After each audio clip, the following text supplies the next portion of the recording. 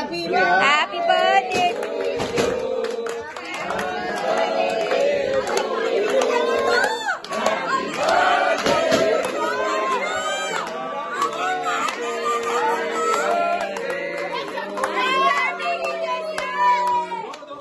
काटने के लिए कुछ तो देखो हाँ एक्चुअली काटने के लिए कुछ तो दो